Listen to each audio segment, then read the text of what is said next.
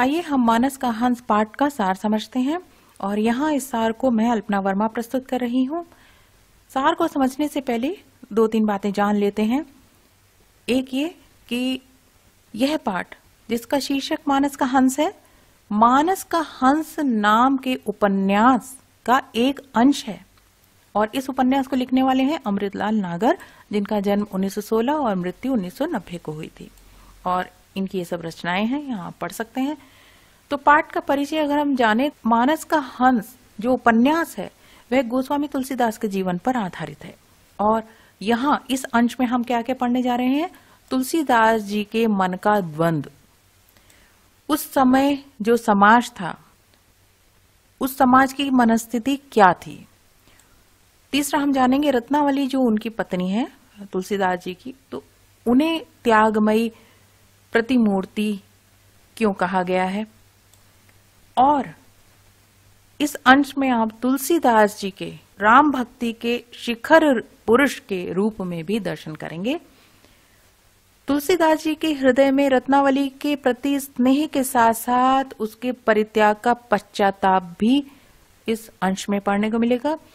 और अंततः वे लोक कल्याण के लिए वैराग्यमय जीवन का अनुसरण करते हैं, यह भी हम जानेंगे। उनके मार्ग में रत्नावली बाधक नहीं बनती, बल्कि तपस्विनी भारतीय नारी के समान उनका साथ देती हैं। वह प्रबुद्ध और तर्कशिला है। संपादित अंश में तुलसी रत्नावली का संवाद मर्मस्पर्शी है। जिस प्रसंग के बारे में यहाँ हम पढ़ने जा रहे हैं, वह काशी का है। काशी जिसे हम बनारस कहते हैं आज। वहाँ लोलार कुंड है, आज भी है। तो वहाँ के मठ में गोस्वामी तुलसीदास जी हैं और वे श्री कृष्ण की आरती कर रहे हैं और वहाँ उपस्थित भक्तजनों को उपदेश दे रहे हैं, सत्संग कर रहे हैं। तुलसीदास जी तो राम के भक्त हैं, फिर श्री कृष्ण की भक्ति क्यों कर रहे हैं? तो इसके बारे में स्वयं कहते हैं वे कि जो मेरा आराध्य है, उसके प्रति मेरी भक्ति इतनी पक्की है कि मैं किसी को भी किसी की भी वंदना करूँ, वह भक्ति कम नहीं होगी। और फिर श्री कृष्ण तो उनके अवतार ही हैं। मतलब विष्णु के ही अवतार हैं श्री कृष्ण और राम भी विष्णु के ही अवतार हैं। तो उनके सभी अवतारों से मुझे बराबर स्नेह है, बराबर श्रद्धा है उनके प्रति। यहाँ तक कि वे शिव का भी गुणगान करते हैं और कहते हैं कि, ये बात कहते हैं कि जैसे चुटकी में डोर सदी होने पर पतंग को आप आकाश में कहीं भी उड़ाओ, किसी भी कोने में उसको उड़ाओ, कहीं भी आकाश में, कोई बाधा नहीं पहुँचती। क्योंकि आपको पता है, इसी तरह से आपका मन है, आप कहीं भी ले जाओ, लेकिन आपका मन, आपके आपके नियंत्रण में है, और उस इष्ट से बंधा हुआ है तो वह उस इष्ट से दूर जाएगा ही नहीं, चाहे कहीं भी घूम कर आए। और जब भक्त चले जाते हैं और एकांत होता है तो फिर उन्हें अपनी ही बातें खाने लगती हैं, उन्हीं में वे खो जाते हैं और अपने दुख को प्रकट करते हैं, मन ही मन में सोचते हैं। उन्हें क्या दुख है? उन्हें दुख है कि श्री राम ने मुझे आज तक दर्शन नहीं दिए। और आपको यह भी बता दूँ कि इस समय जब वे यहाँ लोलार कुंड में हैं, इस समय तक उनका जो काव्य ग्रंथ है रामचरितमानस, वह भी पूरा हो चुका है। और वे मन में इस मलाल को लिए बैठे हैं कि श्री राम ने मुझे दर्शन नहीं दिए। हनुमान जी तो कभी कभी दर्शन उन्हें दे देते हैं, परंतु श्री राम आप क्यों नहीं आते?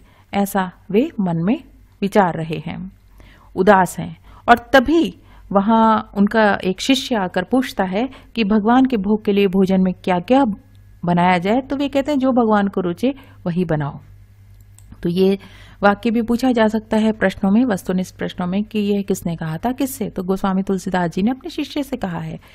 और फिर शिष्य कहते हैं, गोलोकवासी गोस्वामी जी बड़े कुशल पाक शास्त्री भी थे, वे अपने हाथों से तरह तरह के व्यंजन भगवान के लिए तैयार करते थे। इस पर वे कहते हैं कि उन्हें तो उनके स्वाद का पता चल गया होगा कि वे क्या पसंद करते हैं।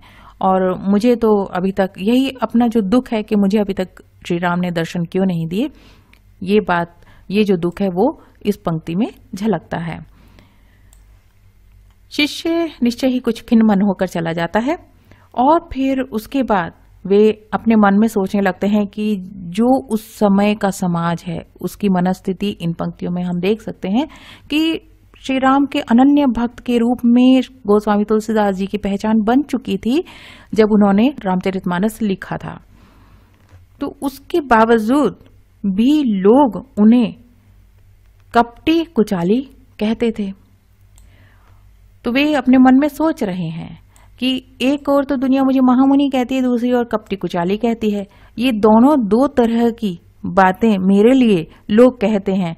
तो इसलिए वे कहते हैं कि मैं ऐसा नहीं हो सकता। मैं तो अपनी आराध्य के प्रति पूरी तरह से पूरी तरह से समर्पित हूँ। और फिर कहते हैं कि शायद मैं बहुत ही नीच प्राणी हूँ, तभी आप मुझे अपना दर्शन नहीं देते, अपने होने का ज्ञान नहीं देते। प्रतीति का अर्थ होता है ज्ञान। फिर वे अपने मन विचार करते हैं कि एक बार मुझे भरोसा दिला दो राम जी, कि आप मुझसे प्रेम करते हैं, आप मुझ पर स्नेह करते हैं, आपका आशीर्वाद मुझ पर है। कैसे देंगे वो? दर्शन देके। तो फिर मुझे और कुछ नहीं चाहिए। तो ऐसा मन में विचार कर रहे हैं। और इतने में अब जो अगला भाग है, पाठ का, उसमें है कि राजा भगत वहाँ पर आते हैं। राजा भगत विक्रमपुर से आए हैं। यह उनको संदेश मिलता है और जैसे ही वे नाम सुनते हैं, वे प्रसन्न हो जाते हैं। मन में जो इतना विचार कर रहे हैं और दुखी हो रहे थे, वह भाव, उदास भाव समाप्त हो जाता है। वे प्रसन्न हो जाते हैं और पूछते हैं, अरे, कहाँ है राजा? और मंदिर वाले जो आँगन है, उससे बाहर आकर आँगन पार करते, जो गेट है, फाटक है, वहाँ तेज़ी की ओर बढ़ चलते हैं। और फिर वे क्या देखते हैं वहाँ पर पहुंचकर कि राजा तो है ही है, साथ में रत्नावली भी है। और उसका तपो मुख पहले से अधिक दिव्य लग रहा था। यानी रत्नावली एक तपस्वी के रूप में दिखाई दे रही थी। तप, कौन सा तप? पति से अलग रहकर और पति के प्रति अपनी निष्ठा को बनाए रखकर उनके प्रेम में अभी भी वे उन्हीं के प्रति समर्पित होकर रह रही थी, यह उनका तप था। रत्नावली ने एक बार पति की आँखों से आँखें मिलाई, राजा भगत दाढ़ी केश विहीन तुलसीदास अब संत हो गए तो उनके बाल दाढ़ी सब उनका मुंडन हो चुका है। तो इस नए रूप को देखकर वे चकित होते हैं और फिर कहते हैं, अरे भैया, तुम तो बदल गए। तुलसीदास जी जो अब उन्हें देखकर उनका जो उत्साह था, वह ठंडा पड़ गया कि उन्होंने देखा कि रत्नावली भी आई है। और उनके मन में शायद फिर से वो जो भाव हैं, अभी तो वे श्री राम के प्रति पूरी तरह समर्पित भाव में रह रहे हैं और वहाँ फिर से अपने वैवाहिक जीवन के बारे में सोच के उनके मन में कुछ ऐसे विचार आए कि वे उदास हो गए। और, राजा से पूछते हैं रूके स्वर में, यानी उन्हें रत्नावली का वहाँ आना अच्छा नहीं लगा। वे पूछते हैं, इन्हें क्यों लेके आए हो?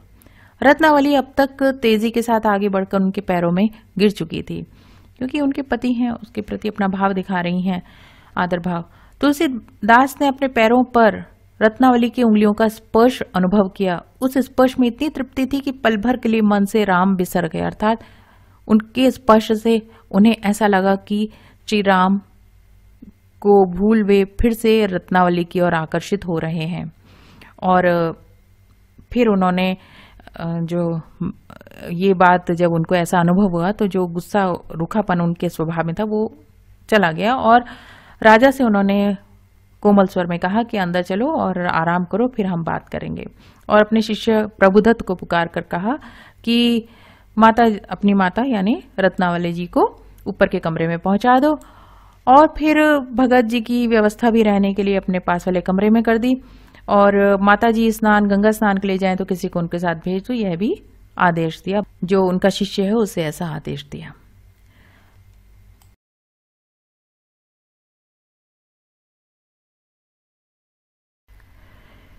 रत्नावली गंगा स्नान करके वापस आती हैं और उनके जो, वहाँ जो मठ है, उसमें सबको पता चल जाता है कि तुलसीदास जी की पत्नी आई हैं।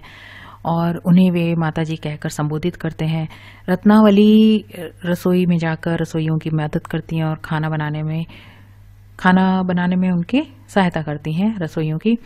और खाना खाकर तुलसीदास जी को बरसों पुराना आनंद आज फिर से प्राप्त होता है। खाना खाने में उनको स्वाद आता है।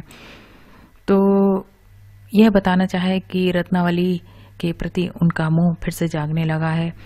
और फिर भी वे अपना मन उस तरफ़ से हटाने की कोशिश करते हैं और भागवत पढ़ते रहते हैं। और राजा से जब वे बातें करते हैं तो सारी बातें करते हैं। सबका हालचाल पूछते हैं, अपने बारे में बताते हैं और इधर उधर की सब तरह की बातें करते हैं, लेकिन रत्नावली के बारे में एक बात भी नहीं पूछते।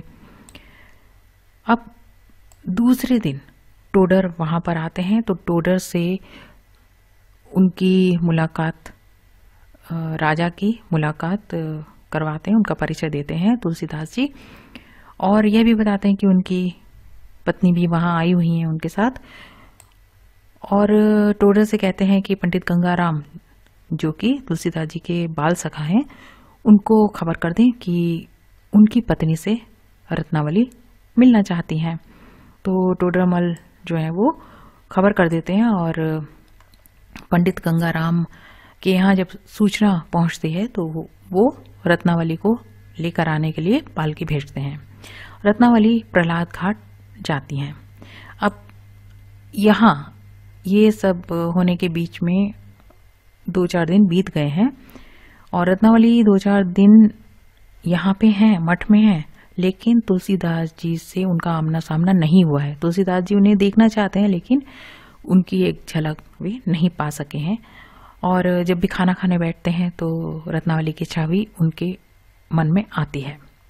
कहने का अर्थ है, उनके मन में द्वंद्व चल रहा है। उनकी पत्नी के प्रति उनका मोह जागा हुआ है। अब जब रत्नावली प्रहलाद घाट चली गई है तो उन्हें खाने में भी आनंद नहीं आता। और यह बात तब पता चलती है जब राजा और ये बैठे हैं और रसोईया दो गिलासों में दूध लेके आता है और तुलसीदास जी दूध नहीं पीना चाहते, अनमना सा रुख अपना दिखाते हैं। राजा उनके मन को भाप जाते हैं और उन्हें छेड़ते हुए कुछ बातें कहते हैं। ये जो बातें कही हैं कि गोसाई जो खाते पीते हैं ब्राह्मण जो खाता है, वो भगवान को ही पहुँचता है। तो इस तरह से कि भी तुम दूध लाए हैं, तुम पी लो। अब गोस्वामी जी चुप होकर दूध पीते रहते हैं और बाद में उन्हें राजा के मन का हल्का सा संकेत मिल गया था कि राजा कुछ कहना चाहते हैं, लेकिन वो उस बात को टाल जाते हैं। क्योंकि राजा भगत अपने साथ रत्नावली को लेके आए थे इस उद्देश्य से कि रत्नावली अब तुलसीदास जी के साथ ही रहें। तुलसीदास जी उनको अपने पास उनको पत्नी का सम्मान देते हुए अपने साथ ही रखें। इस उद्देश्य से लाए थे। तो ये उद्देश्य वे समझ रहे थे मन में, लेकिन इसको वे अनदेखा कर देते हैं। कौन? तुलसीदास जी। और क्योंकि उन्होंने तो बैरा, वैराग ले रखा था घर गृहस्थी छोड़ दी थी, लेकिन फिर भी मन रत्नावली को देखने के बाद उनकी तरफ़ खींच रहा था। अब राजा तुलसी का पैंतरा समझ जाते हैं कि वे बात को टाल रहे हैं। वे समझ तो रहे हैं, तुलसी समझ रहे हैं कि मैं रत्नावली के बारे में कुछ कहना चाहता हूँ, लेकिन टाल रहे हैं। तो उन्होंने अपनी बात रखी। राजा भगत ने कहा कहा कि दो तपसी जब मिल जाते हैं, तब दोनों को एक दूसरे से आगे बढ़ने का हौसला मिलता है। तुम्हारी तपस्या सारी दुनिया देख रही है। तुलसीदास ने रामचरित मानस लिखी और पूरे मनोयोग से अपना सब कुछ श्री राम को अर्पित कर दिया है। और फिर वो कहते हैं कि हम तो भौजी भौजी यानी जो रत्नावली है, उनका तप देख रहे हैं कि किस तरह से वे तुम्हारे न होते हुए तुम तो उसे छोड़ आए हो और वो अकेली तुम्हारे लिए अपने आप को पूरा समर्पित कर चुकी हैं और अपने मन को ठिकाने पर लाए हैं। कह रहे उनका जो तप है, उनका जो समर्पण है तुम्हारे प्रति, वह भी एक तप के समान है। उसको हम देखकर अपने मन को ठिकाने पर ला पाए हैं। और फिर आगे कहते हैं कि इस कलिकाल में, यानी इस कलयुग में ऐसा कठिन जोग साधने वाली जोगिन मैंने नहीं देखी। और एक इसके लिए कह रहे हैं रत्नावली के लिए। तुलसी चुप रहे। और रत्नावली की कठिन साधना के प्रति अपने मित्र के यह उद्गार सुनकर उनको बहुत अच्छा लगा। और वैसा ही संतोष हुआ जैसा कि अपने संबंध में सुनकर होता है कि वे राम के प्रति समर्पित हैं। यह संतोष जिस तेज़ी से अपने चरम बिंदु पर पहुँचा, उससे ही मन का पर्दा फड़फड़ाकर पलट भी गया। उन्होंने फिर अपने आप को संभालने की कोशिश की और फिर भूला हुआ राम नाम फिर से घट में, यानी अपने अंतर मन में, जपना शुरू कर दिया। राजा कहने लगे, राजा, उसे बता रहे हैं कि किस तरह से वह तुम्हारी याद में अपने आप को व्यस्त रखती है, किस तरह से उसने अपने आप को तुम्हारे लिए ही समर्पित कर रखा है। बताती है कि तुम्हारी रुचि का, यानी तुलसीदास की रुचि का खाना बनाती है और किसी कंगाल को खिला देती हैं। और बिल्कुल जैसे रोज तुम्हारी धोती धोना, तुम्हारी पूजा की सामग्री लगाना, तुम्हारी बैठक में झाड़ू लगाना, तुम्हारी हर चीज़ को संभाल कर रखना, ये सब वो तुम्हारे जाने के बाद भी करती रही हैं। और तुम घर से चले गए हो, पर उन्होंने अपनी भक्ति से तुम्हें अभी तक घर में बांधे रखा है। अब ये सारी बातें सुनकर रत्नावली को एक ही बार तो उन्होंने देखा है, आने के बाद, उसके बाद तो देखा नहीं। तो वही झलक उनके मन पे फिर आने लगती है और उनका मन फिर डोलने लगता है। तो कहाँ तो उन्होंने अपना मन पूरी तरह से भगवान राम में लगा लिया था, लेकिन अब रत्नावली की तरफ़ खींचने लगा था। और ये सब बातें सुन के और भी ज़्यादा प्रभावित हो रहा था। तो फिर राजा ने आगे कहा कि सीता के बिना राम जी कभी सुखी नहीं रह पाए। तुमसे अधिक भला ये बात कौन समझ सकता है? तो इसी तरह से उन्होंने ये सब कह के ये कोशिश करनी चाहिए कि रत्नावली को किसी तरह से तुलसीदास जी अपने पास सम्मान रख लें, घर में स्थान दे दें। और आगे ये सब बातें वे कहते हैं। तुलसीदास जी को ये सब बातें कहीं अच्छी भी लग रही थी और कई बार उनका मन इन सब बातों से अलग होने का कर रहा था। जैसे थाली का बैंगन होता है, कभी यहाँ लुढ़कता, कभी वहाँ, ऐसे उनका मन हो रहा था। फिर उन्होंने बात टालते हुए कहा कि अब हम आराम करेंगे, आप जाइए। और रात को सोने का प्रयास वे करते रहे, लेकिन वे सो नहीं पाए। और सोचते रहे सोचते रहे, और वे ये भी सोचने लगे कि मैं राम के लिए तड़पता हूँ और रत्नावली मेरे लिए तड़पती है, और शायद मैं रत्नावली के प्रति निष्ठुर हूँ। उसकी बात नहीं समझ रहा समझ रहा, उसकी बात नहीं मान रहा, उसे यथोचित सम्मान नहीं दे रहा। इसीलिए शायद श्री राम भी मेरे से दूर हैं, मुझे दर्शन नहीं दे रहे। तो मैं जिस तरह से राम जी के प्रति समर्पित हूँ, रत्नावली मेरे लिए समर्पित है, और मैं निष्ठुरता दिखा रहा हूँ तो राम जी मेरे लिए भी निष्ठुर हो रहे हैं। तो ऐसा सोच रहे हैं। फिर सोचते हैं कि अच्छा मैं रख लूँ उसे अपने पास, उसे संतोष मिलेगा तो शायद राम जी भी मेरे प्रति दयालु हो जाएँगे। अब तुलसी का मन बहुत उलझन में है। रात में उन्हें नींद ही नहीं आई ठीक से। सुबह ग, पंडित गंगाराम के यहाँ से उन्हें बुलावा आता है लेकिन वे कह देते हैं कि वे नहीं आएँगे। टोडर आए तो उन्होंने भी अपना प्रस्ताव दोहराया कहा भाई महात्मा जी आप दोनों ही एक दिन मेरी कुटिया पर आए। लेकिन उन्होंने यह सोचा मन में कि शायद राम उनकी परीक्षा लेने के लिए यह प्रस्ताव टोडर के मुँह से कह रहे हैं। तब वे बोले कि विरक्त अब फिर से राग के बंधनों में नहीं बन सकता। उन्होंने अपने मन को पक्का कर लिया और उन्हें यह बात कह दी कि अब मैं बैरागी हूँ, अब फिर से पुराने जीवन में, अपने ग्रस्त जीवन में नहीं लौटना चाहता, किसी के, किसी और के मुँह में नहीं फंसना चाहता। मैं सिर्फ़ श्री राम का ही भक्त हूँ। आप उन्हें अब यहीं रहने दें महात्मा जी। ये टोडर कह रहे हैं कि अपनी पत्नी को अपने साथ रख लें, लेकिन बात पूरी भी नहीं हो पाई थी कि गोस्वामी जी ने उसी झटके से काट दिया और उत्तेजित स्वर में बोले, क्या तुम चाहते हो कि मैं अपने और अपनी पत्नी के सुख के लिए समाज की आस्था को अधर में ही लटका दूँ? यह असंभव है टोडर तो इसका मतलब यहाँ उन्होंने अपना मन पक्का कर लिया है। आगे टोडर कहते हैं, क्षमा करें महात्मा जी, किंतु इससे लोगों की आस्था क्यों बिखरेगी? वल्लभ स्वामी की गहर गृहस्थी उनके साथ रहती थी, फिर भी उन्होंने मोक्ष लिया। तुलसी ने उन्हें समझाया, तुम समझते नहीं हो, टोडर, आज का समय वल्लभाचार्य जी के दिनों जैसा नहीं है। कबीरदास जी वाला समय भी बीत चुका है, यह कलयुग है। नैतिकता का इतना पतन हो चुका है कि यदि एक स्तर तक उठाए ना रखा जा सका तो फिर संसार अनैतिकता की लपेट में आए बिना कदापि नहीं रह सकेगा। अब टोडर चुप हो जाते हैं, उनका यह तर्क सुन के और उन्होंने जो राजा भगत हैं, उन्होंने इस बार तुलसी रत्नावली का मेल कराने के लिए जो पूरा षड्यंत्र रचा था, वह भी विफल हो जाता है। पंडित गंगाराम टोडर यहाँ तक कि कैलाश कवि को भी अपने पक्ष में कर लिया था। गंगाराम आए तो उन्होंने कहा, कैलाश आए, उन्होंने भी कहा, मठ में रहने वाले शिष्यों ने भी कहा माता जी परम विदुषी हैं, उनके यहाँ रहने से हमारे अध्ययन में बड़ी सहायता मिलेगी। तुलसी सुनते, ऊपर से विरोध करते परंतु उनका मन कहता कि तुलसीदास जी का मन कहता कि रत्नावली को पास रखकर यदि अपना ध्यान साधो तो सुगम रहेगा। फिर थोड़ी सी कहीं से उनके मन में ये बात उठ जाती। काम विकार कभी न कभी मुझे सता तो जाता ही है। उससे कहीं अच्छा है कि मेरा यह विकार धर्म सम्मत होकर शांत रहे।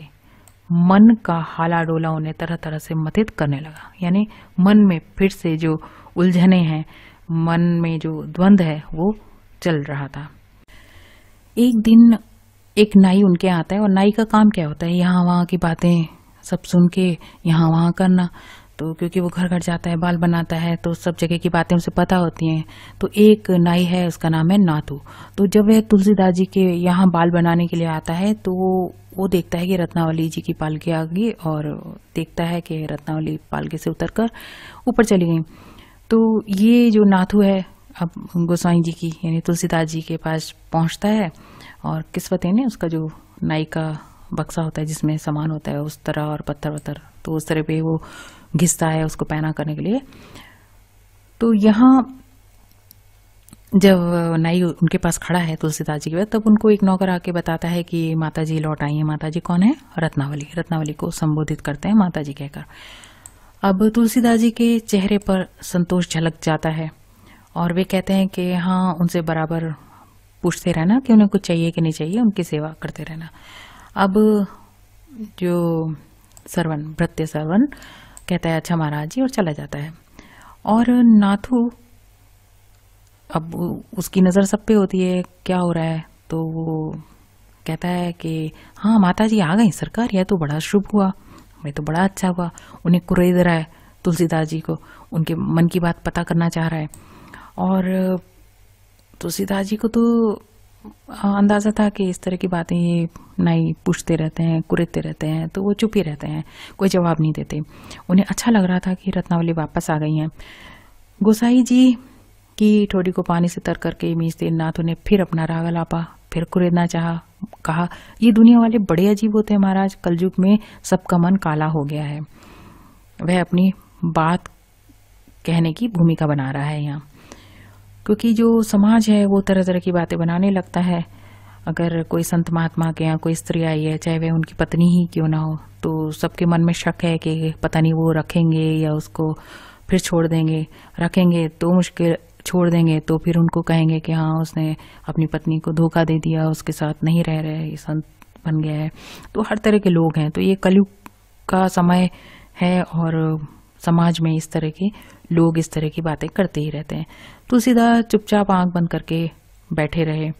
और नाथू ने कहा कि जब से माता जी काशी आई हैं, तब से लोग सब हमसे पूछते हैं कि नाथ, नथु माता जी क्या वहीं रहेंगी? अब हम क्या बताएँ? अब माता जी यहाँ रहे या वहाँ? उनके बाप का क्या? मतलब इस तरह से कह रहे हैं कि वे तो कह रहे हैं कि भी तुम्हें क्या लेना देना लेकिन लोग जो हैं वो पूछते हैं इस तरह की बातें। उनके, उनकी बड़ी रुचि है इस बात को जानने में कि रत्नावली तुलसीदास जी के पास रहेंगी या नहीं रहेंगी? फिर वो और उनको कुरेता है, क्योंकि चुप रहते हैं तुलसीदास जी, कोई जवाब नहीं देते। तो फिर वो कहता है कि, बड़ी हवेली के गोसाई महाराज भी तो गृहस्थ हैं, यानी उनकी पत्नी भी तो रहती है। और अगर आप रख लें तो क्या है? पर नहीं, उनको तो कोई कुछ नहीं कहेगा। आपके लिए लोग रोक टोक करते हैं। कहने का अर्थ है कि आपके लिए लोग बातें बना रहे हैं, उनको कोई कुछ नहीं कहता। अगर आप रखेंगे तो लोग बातें बनाएँगे। उसका कहने का आशय यही है। अब आगे तुलसीदास जी के मन में संतोष और सुख का महल बालू की दीवार सा ढह पड़ा, क्योंकि यहाँ नाई ने जो बात कही कि आपके लिए लोग रोक टोक करते हैं। किसी और के लिए तो नहीं कहेंगे, लेकिन आप अगर रखेंगे तो लोग इस तरह से बातें बनाएँगे। तो उन्हें अब गुस्सा आ जाता है। वे कहते हैं, इस प्रसंग को अब यहीं पर समाप्त कर दो नत्थु उन्हें ये बातें अच्छी नहीं लगती कि नत्थु इस तरह की बातें उनसे कह रहा है। अब वह भी चुपचाप अपने काम में लग जाता है और यहाँ वो नाई अपना काम करता रहता है और वहाँ तुलसीदास जी का जो मन है, वो अपने जो भाव हैं, उनमें उलझता रहता है। मन व्याकुल होता रहता है और फिर वे अपने आराध्य को मन में पुकारते हैं और कहते हैं कि मेरा मन जो है वो पगला गया है और कभी वो अपने वैराग्य की तरफ़ जाता है और कभी फिर से राग द्वेष में उलझ जाता है। कभी वे पाखंडी बनता है तो कभी ज्ञानी। तो इस तरह से वे अपने ईश्वर को पुकार रहे हैं कि उन्हें रास्ता दिखाए, वे मन से दुखी हो गए हैं और अब ये मन मेरा काबू में नहीं आ रहा है, कृपा करके उसे निरोगी बनाए, अपने चरणों की अटल भक्ति देके उसे शांत करें। तो इस तरह से यहाँ वे अपने आराध्य से अपने मन को शांत करने के लिए प्रार्थना कर रहे हैं। अब नाई ने जब यह देखा कि तुलसीदास जी की आँखों से आँसू टपक रहे हैं तो वो चुप हो जाता है। फिर जैसे ही उस तरह और हाथ का स्पर्श हटा तो तुलसीदास जी भी होश में आते हैं सचेत हो जाते हैं कि अरे आ, मैं मेरी आँखों से आँसू निकलने लगे हैं। तो फिर वह कह, कहते हैं कि मेरा मन तो राम का बावला है कभी हंसता है कभी रोता है तुम अपना काम करो। नथु अपना काम करके चला जा, जाने लगता है तो तुलसीदास जी उसे कहते हैं अब जो कोई तुझसे पूछे तो कह देना कि माता जी अपने मोहवश चार दिन के लिए आई हैं शीघ्र ही चली जाएँगी। तो यहाँ उन्होंने अपना निर्णय सुना दिया है। न तो फिर कहता है क्यों? दो ही दिन में मठों के मठ के सारे लोग उनकी बड़ाई करते हैं तो गोसाई लोग तो ग्रस्त वाले होते हैं। वे कहना चाह रहा है वह कहना चाह रहा है कि रख लो उनको, आप अपने साथ गृहस्थी बसा लो। फिर भी कहते हैं, तुलसीदास जी कहते हैं, नहीं, मैं दूसरे गोसाइयों की तरह नीति की चाल पर नहीं चलूँगा। मैंने गृहस्थ आश्रम से त्याग किया, सो किया। अब उनके मन में एक दृढ़ निश्चय आ जाता है। और फिर वे नौकर को बुलाकर रत्नावली जी, रत्नावली के लिए संदेश देते हैं, कहते हैं कि वे शीघ्र राजापुर चली जाएँ। रत्नावली ने उसी दास के द्वारा कहलाया कि वे उनसे मिलना चाहती हैं। जब ये संदेश उनके पास पहुँचा तो उन्होंने कहा, मैं मिलना चाहती हूँ। और तुलसीदास जी का पहले तो मन हुआ कि मना कर दें, फिर उन्होंने कहा, ठीक है, भेज दो, कोठरी का पर्दा गिरा दो। अर्थात वे रत्नावली को नहीं देखना चाहते, पर्दे के दोनों तरफ़ बैठकर ये बातें करेंगे अब। रत्नावली आती हैं। अपने और पतिदेव के बीच में टंगे हुए पर्दे को देखती हैं और सिर झुकाकर खड़ी हो जाती हैं। थोड़ी देर में धीमे स्वर में कहती हैं, जय सिया राम और तुलसीदास जी भी कहते हैं, जय सिया राम पंडित गंगाराम जी के घर पर मैंने आपके द्वारा रचित रामचरितमानस का पारायण किया था। मैंने उसे वाल्मीकि जी की कृति से श्रेष्ठ भक्ति प्रदायक ग्रंथ पाया। इस तरह से रत्नावली अपने पति की, उस कृति की प्रशंसा कर रही हैं और तुलसीदास को यह सुनकर संतोष होता है। कहते हैं, आदि कवि के परम पावन ग्रंथ से उसकी तुलना ना करो देवी। वैसे यह जानकर मैं बहुत संतुष्ट हुआ कि तुमने यह ग्रंथ पढ़ लिया। रामचरितमानस की एक प्रति, यानी वे कॉपी मांग रही हैं। रामचरितमानस की एक प्रति, रत्नावली जी, तुलसीदास जी से मांगती हैं। और तुलसी कहते हैं हाँ वह तुम्हारे पास पहुँच जाएगी। टोडर प्रतिलिपियाँ कराने की व्यवस्था कर रहे हैं। रत्नावली की आँखें बरस पड़ती, वे रोने लगती हैं और कुछ देर बाद वे तुलसी तुलसीदास जी उनसे पूछते हैं, गई? तो वे रुदन कंपित स्वर में कहती हैं हाँ जा रही हूँ। रो रही हो रत्ना? रत्ना कहती है, रत्नावली कहती है, संतोष के आँसू हैं। अब ना बहाओ देवी, नहीं तो मेरे मन का धैर्य और संतोष पट जाएगा। सेवक का धर्म कठिन होता है। वे राम के भक्त हैं, राम के सेवक हैं तो राम में ही अपना मन लगाना चाहते हैं। और फिर रत्नावली जी कहती हैं, मैं जाती हूँ, लेकिन मुझे एक भिक्षा दीजिए। क्या भिक्षा? कि मेरी मृत्यु से पहले मुझे एक बार अपने मुझसे मिलने आना और मुझे अपना श्रीमुख दिखलाने की कृपा करना। तो यह उनकी इच्छा थी, जो उन्होंने जाने से पहले उनसे कही तुलसीदास जी से। तो तुलसीदास जी ने वचन दिया कि हाँ मैं ज़रूर आऊँगा। अब यहाँ जो शब्दार्थ दिए हैं शब्द संभ्रांत यानी सभ्य व्यक्ति पाक शास्त्री खाना बनाने में प्रवीण, लालता, ललचाता, कलिकाल, कलयुग, ये इंपॉर्टेंट है। मृदुल, कोमल, किस्वत, नाई की बेटी, गृहस्थ गृहस्थ, प्रतीति, ज्ञान, सानिध्य, निकटता, मुहाना, मुँह, तिरोहित, विलुप्त यानी गायब, ऊहापोह, असमंजस भृत्य यानी नौकर अहंता अहंकार। विरक्त अब फिर से राग के बंधन में नहीं बन सकता। यह कथन किसका था? तुलसीदास जी का। अब इस जन्म में हमारा तुम्हारा साथ नहीं हो सकता। तुलसीदास के इस कथन में व्यंजित क्या भाव है? तो यह वैराग्य का भाव है। राजा भगत अपने साथ किसको लेके आए थे? रत्नावली को लेके आए थे। और इस कलिकाल में ऐसा कठिन जोग साधने वाली जोगिन मैंने नहीं देखी। जोगिन किसके लिए शब्द आया था? रत्नावली के शब्द। रत्नावली के लिए आया था। रत्नावली ने तुलसीदास के किस रचना की प्रति मांगी? रामचरित मानस की प्रति मांगी। विदाई के समय भिक्षा के रूप में रत, रत्नावली क्या विनती करती है कि अंतिम समय में उसके अंतिम समय में यानी मृत्यु से पहले एक बार तुलसीदास जी का मुँह देखना चाहती हैं। तो इसके साथ ही यह पाठ यहाँ समाप्त होता है। धन्यवाद।